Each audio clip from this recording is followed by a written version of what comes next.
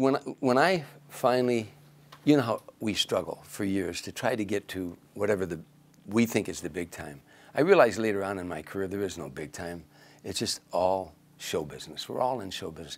And what we know as comedians more than anybody, there is no funniest or funnier, and there never was. You know, there's only one rule in comedy, be funny. That's the only rule that we have. But when I finally made it to Caesar's Palace with Sammy Davis Jr., after my first Tonight Show, my whole life changed. And Sammy Davis Jr. took me on the road.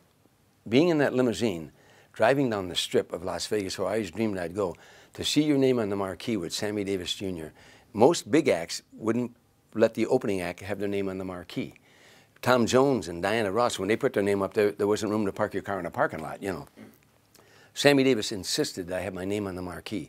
He said, we'll set a precedent, Tommy, that when you get your name on the marquee, then any act you work with afterward, they have to give you the same kind of billing. He was a very, very generous guy who never forgot it, the, the dues he paid in show business. But after that first night of appearing in Las Vegas with Sammy, I went into my dressing room and I wrote this down. As far back as I can remember, or shortly thereafter, I loved to hear the sound of laughter. Whether grown-ups or children, it really didn't matter to me. If I could make people laugh, I was as happy as I could be. You see, when you make people laugh, they get such a lift. My mom once told me this is a God given gift. She said, because you'll get so much love and yet you're still able to give. I knew that I wanted to do this for as long as I live. So I left my home in Harvey, Illinois to tour around the country and spread some joy. Success was ahead, I just didn't know how far. Soon I was broke and sleeping in a car.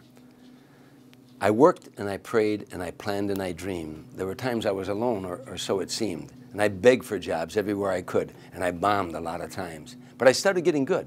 They laughed in Boston one night, I'm proud to say, and soon they were even laughing out in LA. Now, if you're a comedian, you want America to know, you had to get a spot on the Johnny Carson show.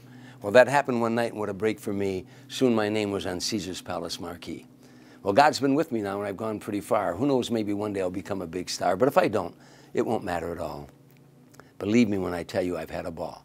So now I wish for everyone what's happened to me to find the work that you love, because that's really the key. So when I die and go to the hereafter, I'll miss all of you, my friends, but most of all, I'll miss the sound of your laughter. That's, That's a pretty neat, yeah. Now, I want to, the one more I want to do for you. this came to me uh, uh, years ago and I wrote it down. It was after a big show. After I did this big show and, and I was opening for Sammy, I walked across the stage and all the laughter that was out there was gone. I, I was after the show was over and I was going out to the casino and I looked and they're gone. They're all gone. All that laughs are gone. And I went back and I wrote this.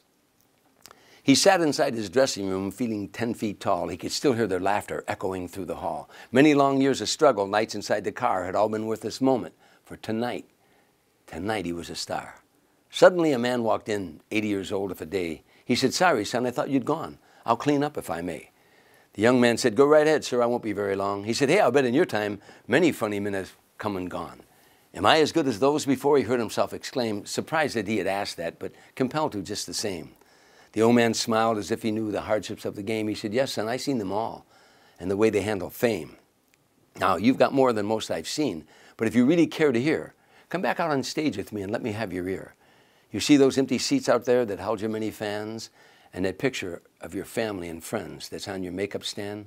Well, when the sweet applause has had its day and you're left alone, the truest fans who knew you then will still be there at home. He said, Wow, thank you, old man. And what is your name? You've given me more than my fortune and fame. He said, My name, my name is Old Freddie.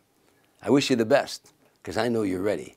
Next night, he could hardly wait for a second show to end so he could catch a cleaning man and talk with him again. And as the owner passed his door, he paused to say goodnight. He asked the comedian, Why are you sticking around? Is everything all right? He said, I'm waiting for old Freddie. I talked with him last night. He gave me some great advice, the kind I know is right. The owner said, But son, Old Freddie ain't been here for years. He came here when this place was built. He even died right here. Oh, thank you, old man. And what was your name? You've given me more than my fortune and fame.